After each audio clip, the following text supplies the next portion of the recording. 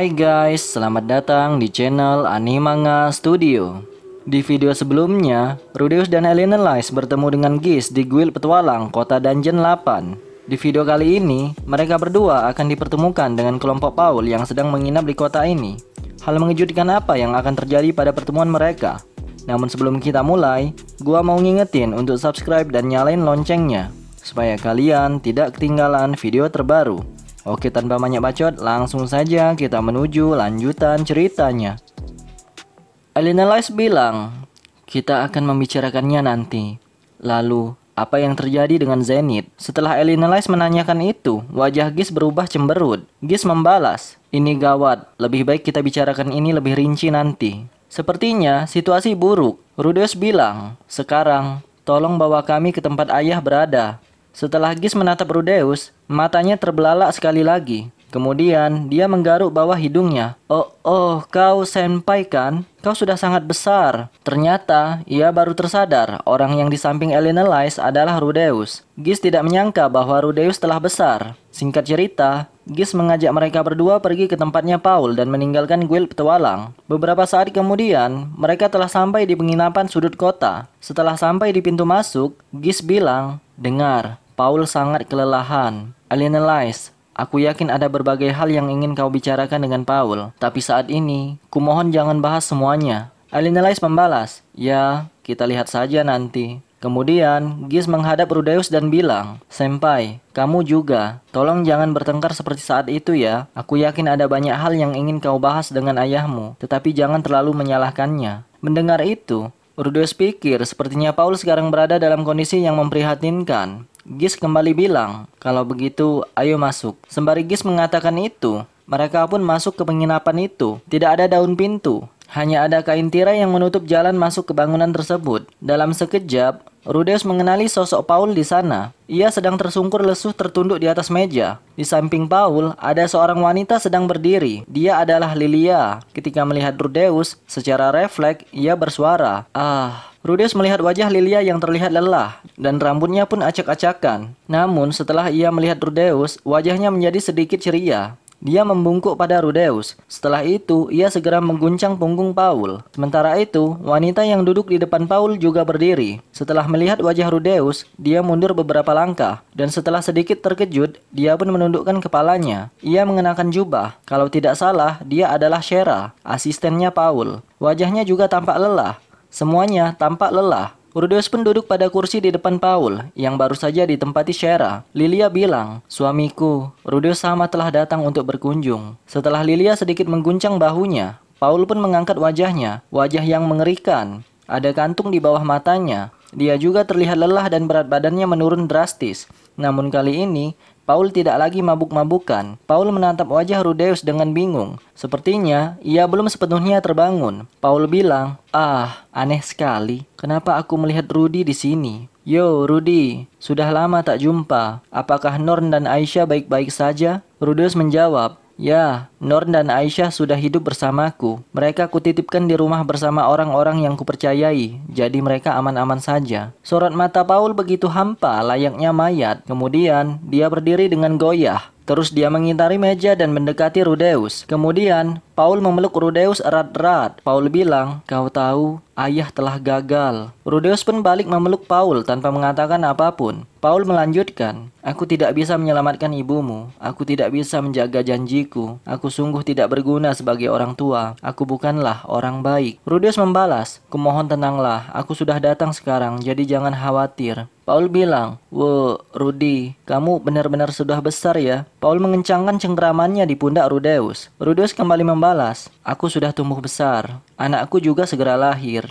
Jadi, kumohon istirahatlah dengan tenang dan serahkan semuanya padaku. Paul terkejut mendengar itu. Hah? Anak? Saat itu juga, Paul tiba-tiba mengeluarkan suara aneh. Bersamaan dengan itu, matanya kembali bercahaya. Paul bilang, jadi kau benar-benar nyata? Rudes menjawab, aku memang nyata. Paul kembali bilang, ini bukan mimpi. Tampaknya Paul belum bangun sepenuhnya. Ia mengedipkan matanya dan melihat sekeliling. Dia melihat Lilia. Lilia bilang, Selamat pagi suamiku. Paul membalas, Ya, Lilia, sejak kapan aku tertidur? Lilia kembali bilang, sejak Tolhen sama pergi berbelanja, jadi hanya sekitar satu jam. ia akhirnya paham. Sepertinya ia setengah tidur. Paul menggelengkan kepala dan sedikit meregangkan tubuhnya. Paul kembali duduk pada kursinya, kemudian dia menghadap pada Rudeus. Ia bilang, Rudi, Kenapa kamu di sini? Rudius membalas, kan sudah kubilang, aku datang untuk membantumu. Rudius kembali menjelaskan kepada Paul bahwa ia tidak perlu khawatir tentang Norn dan Aisyah karena ia telah diserahkan kepada orang-orang yang ia percayai. Paul pun mengerti, namun ia sedikit bingung mengapa Rudius tiba terlalu cepat. Rudius hanya menjelaskan bahwa ia datang ke sini dengan cara khusus, tetapi Paul tetap saja bingung. Ini terlalu cepat bagi Rudeus untuk datang dalam waktu satu setengah bulan.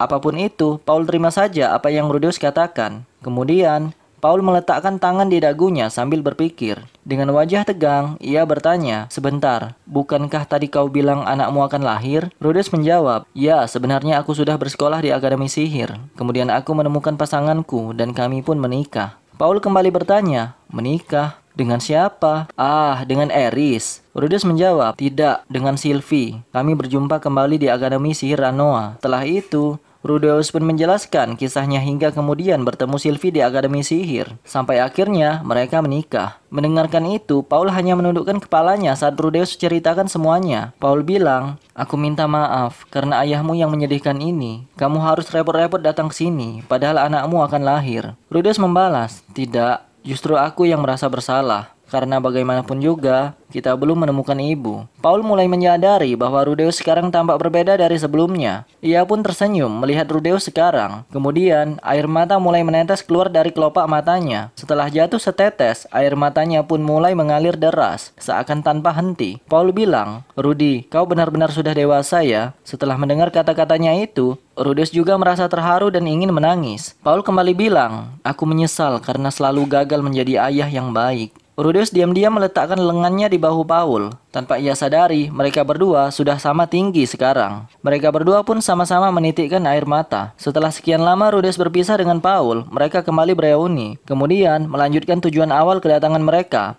Masih ada satu masalah, yaitu hubungan Paul dan Elena Lice. Terlihat Elena Lice sedang duduk pada kursi di dekatnya. Kemudian dia melihat kemari dengan tatapan tidak senang. Paul perlahan melihat ke arahnya. Kemudian, mereka pun saling pandang. Paul perlahan berdiri. Dia menghadapi Elena Lice, kemudian berjalan perlahan ke arahnya. Elena Lice menanggapi dengan berdiri, sembari mengepalkan tangannya. Mereka saling memelototi. Rudeus khawatir, jangan-jangan akan terjadi baku hantam setelahnya. Paul bilang, Alina Lais membalas, mau apa kau? Tiba-tiba, Paul berlutut di hadapan Lais sambil bersujud-sujud ke lantai. Paul bilang, aku sangat menyesali apa yang telah kulakukan saat itu.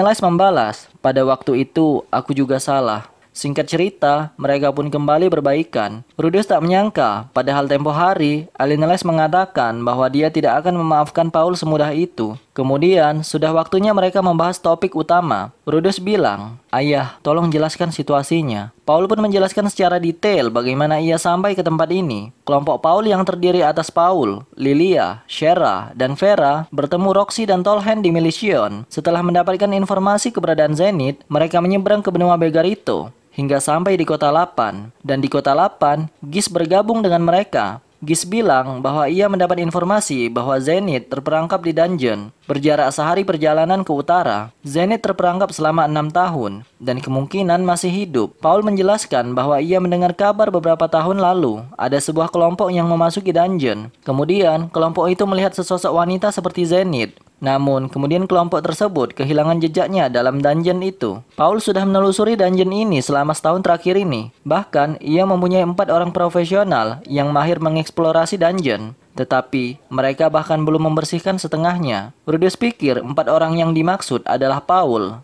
Gis, Tolhen, dan Roxy. Tiba-tiba, ada seseorang yang masuk ke dalam. Ia bilang, hmm, apakah kita punya tamu? Dia adalah seorang pria pendek dengan badan yang begitu lebar. Sekilas saja, Rudius tahu bahwa dia adalah ras dwarf. Rudius rasa ia adalah Tolhen.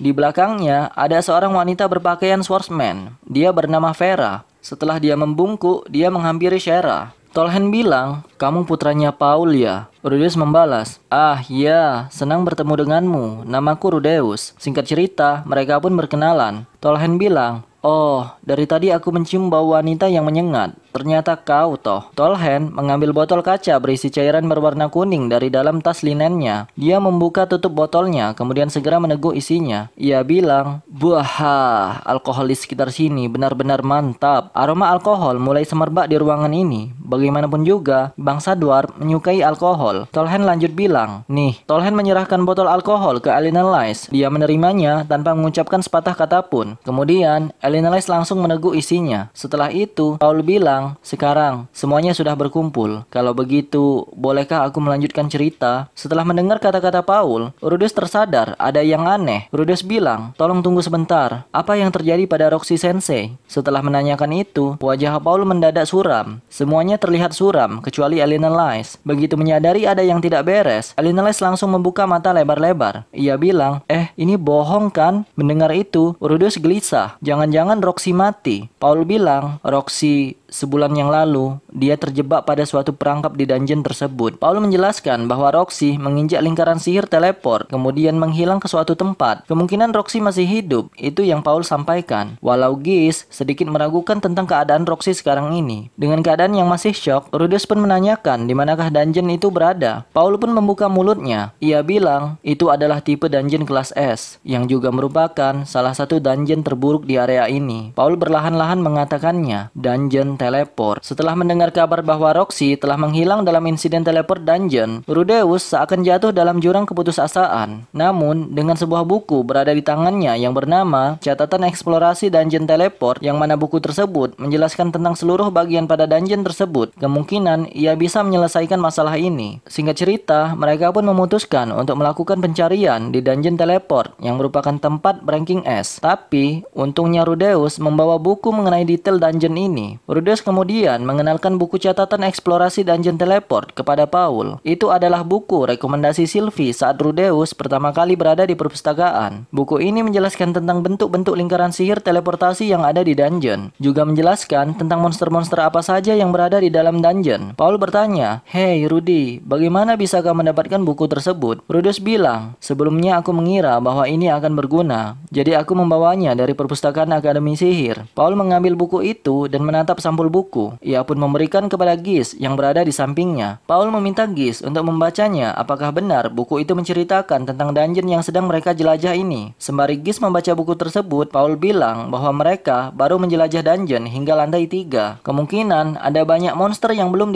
diketahui pada lantai berikutnya. Bila berdasarkan buku ini, ada lima jenis monster yaitu Tarantula Deadlord, laba-laba beracun level B, Iron Crawler, monster besar level B, Mad Skull, monster setengah manusia level A, Armored Warrior, monster berarmor yang punya empat tangan level A, dan Little Devil, monster berkuku tajam dan dia merangkak di langit-langit level A. Rumor mengatakan bahwa dungeon ini punya 6 atau 7 lantai. Dengan buku ini, mereka mendapatkan informasi yang cukup banyak untuk menaklukkan dungeon ini. Selain monster, juga ada lingkaran sihir pada lantai 4. Gis selesai membacanya dan takjub hingga ia berteriak kegirangan. Buku ini bisa dipakai sebagai petunjuk. Banyak hal yang tak terungkap selama ini tertulis pada buku ini. Selain itu, buku tersebut menjelaskan tentang lingkaran sihir seperti apa yang aman dipijak dan juga seperti apa yang berbahaya dipijak. Paul bilang, baiklah setelah kita selesai membacanya, kita akan membuat formasi. Oh ya, tim yang pergi ke dungeon tersebut berjumlah lima orang. Paul, Elena Lice, Tolhen, Gis, dan Rudeus. Lice dan Rudeus menggantikan Vera dan Shera. Masing-masing anggota memiliki peran. Lice sebagai perisai barisan depan. Paul menjadi penyerang kedua. Rudeus menjadi penyerang sekaligus penyembuh. Tolhen bertahan dan menyerang, dan Gis bertugas memetakan, membuat arah perjalanan, mengurusi makanan, mengumpulkan bahan-bahan mentah, dan memutuskan kapan harus mundur dari misi ini. Setelah membuat formasi, Paul bilang, kita harus mencapai lantai tiga terlebih dahulu. Di sana kita akan mencari Roxy. Malam itu, Rodius tidur di kamar yang sama dengan Paul dan Lilia. Di sana, Rodius dan Lilia mengobrol berbagai hal, seperti apakah Aisyah di sana menyusahkan Rudeus, atau apakah Aisyah dan Norn cukup akur di sana, dan banyak hal lainnya. Paul tidak bergabung dalam percakapan mereka berdua. Ia hanya tersenyum kecil. Ia bilang bahwa Rudeus telah benar-benar menjadi dewasa, dan ia menikmati saat melihat Rudeus ngobrol dengan Lilia. Rudeus pun baru menyadari bahwa tinggi tubuhnya sudah setara dengan Paul. Ia rasa sekitar 170 cm.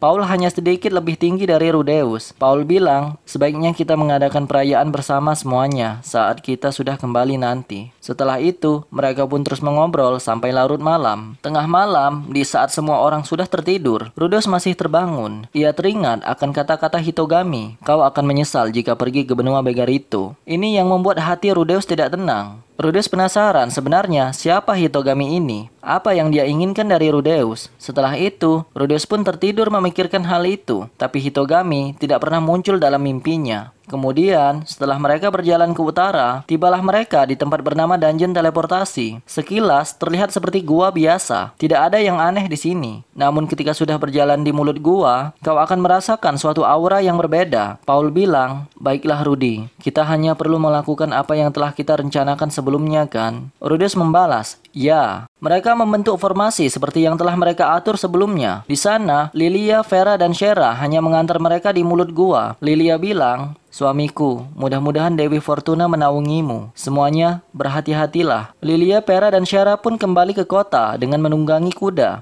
Sementara itu, Paul dan yang lainnya mulai menyusuri gua. Dalam gua cukup gelap, tapi kau masih bisa melihat sesuatu. Masih ada beberapa benda di dalam gua yang memancarkan cahaya redup. Rudeus bilang, aku akan membuat sebuah cahaya. Rudeus pun menggunakan gulungan yang pernah diberikan Nanahoshi. Gulungan itu berisi roh cahaya dan begitu dia keluar, dia mengelilingi kelompok ini sembari menerangkan ruangan. Cahaya roh ini lebih terang daripada cahaya obor, sehingga mereka memutuskan untuk tidak membawa obor. Tolhen takjub melihat apa yang dilakukan Rudeus. Ia bilang, Paul, putramu benar-benar membawa benda yang penting. Paul membalas, ya, yeah, Bagaimanapun juga, dia adalah putra kebanggaanku. Sembari mengatakan itu, ia menaruh tangan pada dadanya dengan begitu bangga. Tolhen kembali bilang, dia memang membanggakan. Tapi sepertinya ayahnya tidak. Gis menyela, jangan bilang begitu. Bahu Paul tampak lemas dan dia sedikit mendesah. Gis kembali melanjutkan, kita harus buru-buru. Dengan aba-aba dari Gis, mereka pun terus masuk ke dalam dungeon ini. Lantai pertama, mereka mulai berjalan di dalam gua yang tampak seperti sarang semut dan juga sarang laba-laba yang membentang di sepanjang dinding dan langit-langit gua. Ketika masuk lebih dalam, mereka bahkan menemukan beberapa lingkaran sihir teleportasi yang memancarkan cahaya putih kebiruan. Gis memimpin, dia berada 10 meter di depan kelompok ini.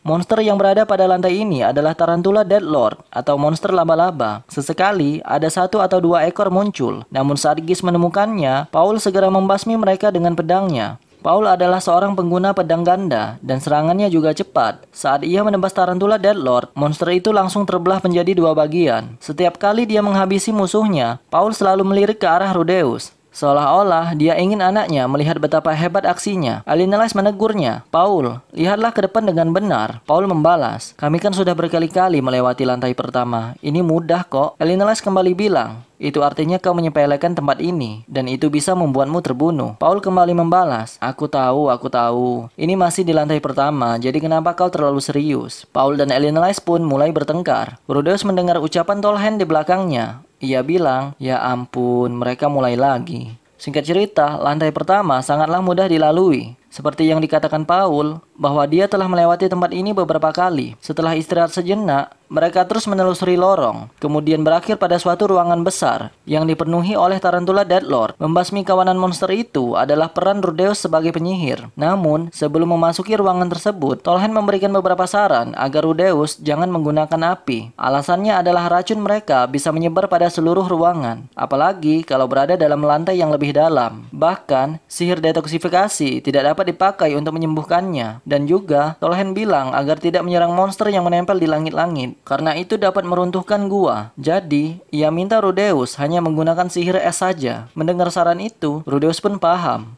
Rudeus menggunakan sihir es tingkat lanjut, Blizzard Storm. Sihir itu akan menciptakan hujan tombak es. Agar tidak terkena Paul dan yang lain, pertama-tama, Rudeus harus membasmi bagian tengah dari kawanan laba-laba tersebut. Tolhen bergumam dari belakang. Oh, muridnya Roxy memang jempolan. Kau menggunakan sihir yang sama dengannya. Sepertinya, Roxy juga menggunakan Blizzard Storm, sama seperti Rudeus. Tolhen melanjutkan. Terlebih lagi, kau menggunakan mantra tanpa suara ya. Aku bisa mengerti mengapa Roxy begitu membanggakanmu. Sembari mendengar pujian Tolhen, Rudeus berhasil memusnahkan kawanan laba-laba tersebut. Mereka pun terus bergerak maju. Setelah menghancurkan jaring laba-laba, mereka menginjak lingkaran sihir teleportasi di dalam. Mereka diteleport pada suatu lorong. Kemudian, mereka menemukan sarang laba-laba lainnya. Sebenarnya, mereka sudah tahu ke mana mereka dikirim oleh lingkaran-lingkaran sihir teleport di lantai pertama. Namun mereka sengaja melakukannya untuk mengonfirmasi kebenaran buku tersebut. Di ruangan terakhir, terdapat lingkaran sihir yang memiliki cahaya biru yang bersinar lebih terang, dan ukurannya lebih besar besar daripada yang pernah mereka temui sebelumnya. Lingkaran sihir teleport itu mengarah pada lantai kedua. Di sana, ada dua lingkaran sihir yang berbaris. Namun Giz sudah menandai yang mana yang palsu.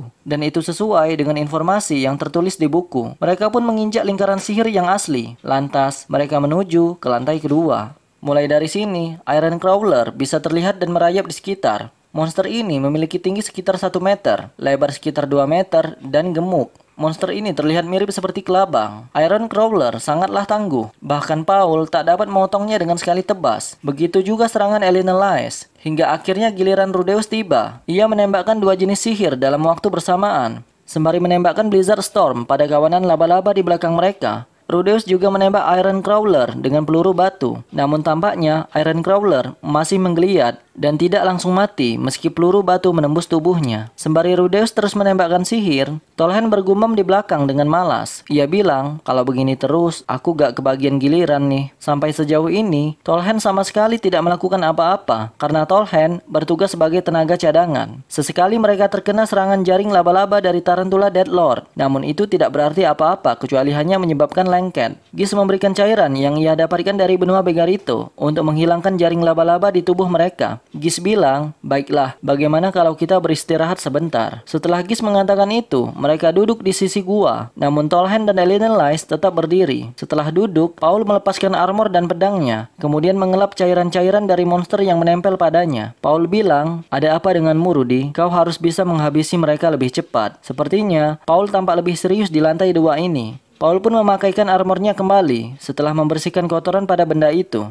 Dia juga menaruh pedangnya pada pinggang, kemudian berjalan menuju Alien Lies. Saat Rhodes pikir agar menggantikan posisi Tolhen dan Gis, Gis bilang, Ah, Kinerja si tua hidung belang itu sungguh tidak efektif. Mulai dari sekarang, aku ingin Senpai lebih berperan dalam kelompok ini. Rudeus membalas, gak apa-apa nih kalau kita mengesampingkan ayah. Gis kembali bilang, tidak apa-apa. Daripada dia, Senpai lebih pintar. Sementara Gis terus menyindir Paul. Dia pun mengeluarkan buku dan peta dari tasnya. Gis bilang bahwa tak lama lagi, mereka sampai pada lantai ketiga, tempat di mana Roxy kemungkinan berada. Kalau menurut buku, tampaknya jebakan teleport hanya akan memindahkan korbannya pada lantai yang sama sama, Roxy menginjak jebakan teleport di lantai tiga waktu itu. Artinya, ia tetap berteleport di lantai tiga. Gis bilang, kau tidak punya sihir yang bisa mencari orang dengan mudah ya? Rudeus membalas, aku tidak memilikinya. Gis bilang itu tak masalah. Ia minta Rudeus untuk gunakan saja intuisinya. Kira-kira di mana Roxy berada. Sembari Gis menunjukkan peta pada Rudeus, Rudeus sejenak berpikir dan menunjuk suatu area kosong di peta. Itu adalah area timur dari tempat Roxy menghilang. Setelah itu, mereka pun memutuskan untuk menuju menuju ke sana ketika mereka berada di lantai ketiga. Semenjak kehilangan Roxy, kelompok Paul sangat kesulitan kembali ke lantai tiga. Itu karena monster yang bernama Iron Crawler. Hanya Roxy yang dapat mengalahkannya. Namun kali ini, berkat Rudeus, kini mereka dapat melangkah lebih jauh. Agar bisa melalui lantai kedua, diperlukan seorang penyihir yang bisa menembakkan sihir api atau es. Akan tetapi, Roxy masih hilang. Pantas saja, mereka tidak bisa melalui lantai kedua seperti dulu. Dan juga, mereka tidak dapat menemukan penyihir di benua Begarito dengan maksud menyewa jasanya. Keberadaan penyihir memang langka di sini.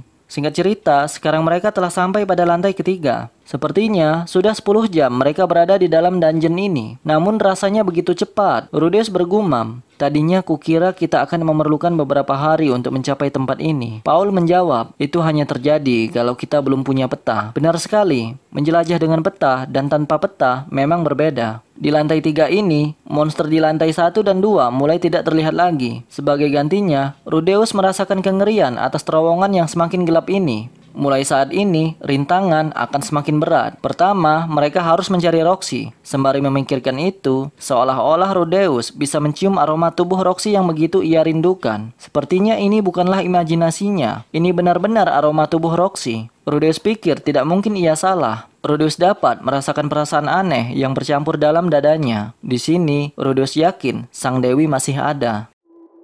Nah, Itulah rangkuman cerita volume 12 part yang keempat. Video berikutnya gue akan membahas petualangan kelompok Paul yang akan menyelamatkan Roxy di lantai ketiga dungeon ini. Banyak cerita yang tidak dijelaskan di anime dan manganya loh. Maka dari itu, kalau males baca web novelnya, pantengin terus channel ini dengan subscribe dan hidupkan notifikasinya. Oh ya, gue mau ngucapin terima kasih bagi kalian yang telah rela berdonasi. Dukungan kalian sangat berarti dalam perkembangan channel ini. Oke sekian dari saya, terima kasih guys.